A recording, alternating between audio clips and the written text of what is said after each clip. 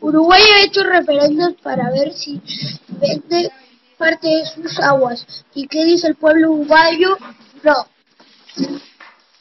Por compañeros mexicanos, no se dejen robar por el Tratado de Libre Comercio. Los bolivianos están recuperando sus recursos naturales, minerales, aguas, gases, petróleo, cobre, café, papas, vacunos, porcinos, aquenidos y otras más cosas dentro del país. Pero que, pero que les devuelvan todo todito.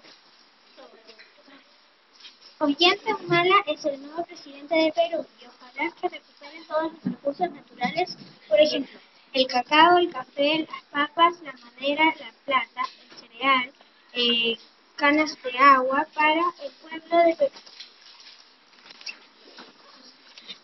Babylon le roba el oro a Argentina con las mismas, con las mineras del, de, de Pascualama y de Veladero.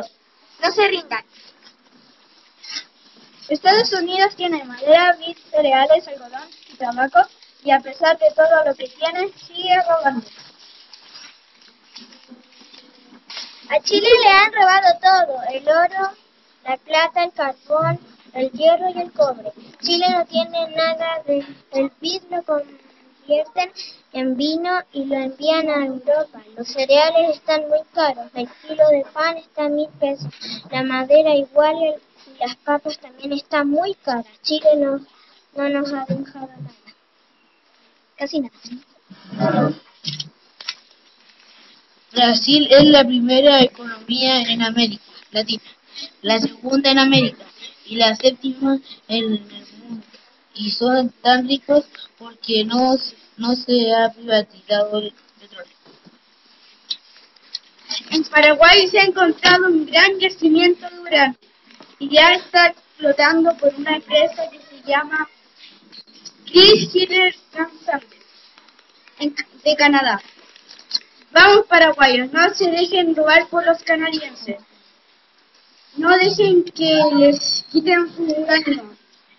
Por eso, por esa empresa Chris Chile de que nos les roben sus recursos naturales. En Colombia tiene una empresa nacional de petróleo llamada, llamada Ecopetrol, que saca el petróleo suficiente para la demanda del país. Estados Unidos tiene cobre, oro, hierro, plata, aluminio, uranio, carbón, petróleo, caprinos, porcinos, vacunos, ovinos, madera, cereales, algodón, tabaco, vid, y a pesar de esto andan robándose los recursos de otros países.